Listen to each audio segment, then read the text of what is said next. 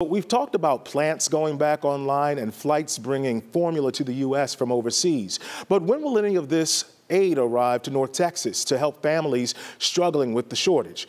Well, we do have an answer for you this afternoon. As Ariel Plasencia reports, the next shipment of formula from overseas arrives in Fort Worth this week.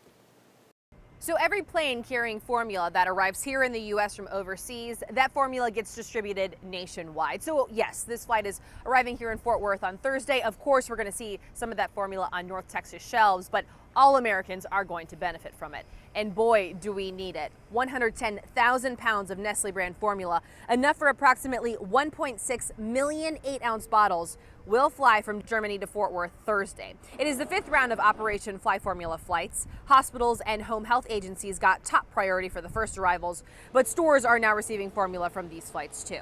And according to Bloomberg, the out of stock rate for formula in Texas, 60.1% as of one week ago and Houston's out of stock rate 92.5%. So here's some advice from Cook Children's pediatrician, Dr. Alice Phillips.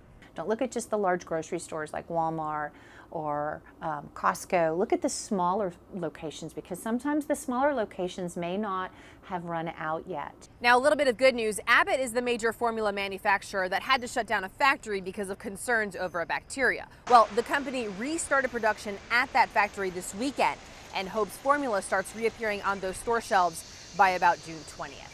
Now, I recently interviewed a Texas mom who took a day off of work so that she could drive an hour to a grocery store to try and find some baby formula. So this shipment, that this flight that's arriving on Thursday is very much needed.